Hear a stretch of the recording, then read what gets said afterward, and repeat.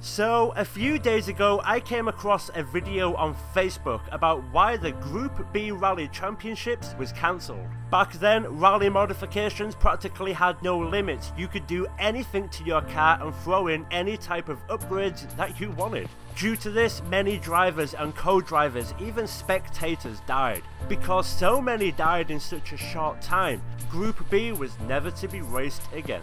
So I thought I'd pay homage to this truly mental rally series and see if a Group B car has what it takes to gain a world record here on Blizzard Mountain.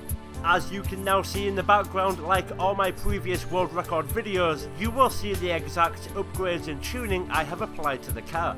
So please feel free to pause the video during this part if you would like to replicate the build and create your own. Or if you would rather, then you can just simply download this version by searching my gamertag Don Joewon Song under creator.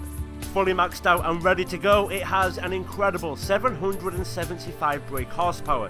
It has 5 gears because 6 apparently is useless, and it weighs about the same as a modern Ford Focus. Not bad for a 30 year old horsepower tree hugger. The track we're taking on today is Extreme Summit Cross Country, a fully fledged deep snow cross country track where the big mighty off-roaders rule the nest. Long jumps, tight corners and enough trees to give my car a heart attack, it seems perfect. I have to complete this run without crashing, without using rewind, all while trying to beat the current number one time of 2 minutes and 7 seconds.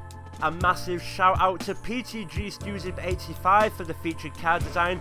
If you liked the video then please hit that like and subscribe button and I will hopefully see you all in the next one. Take it easy guys, thanks for watching, bye bye!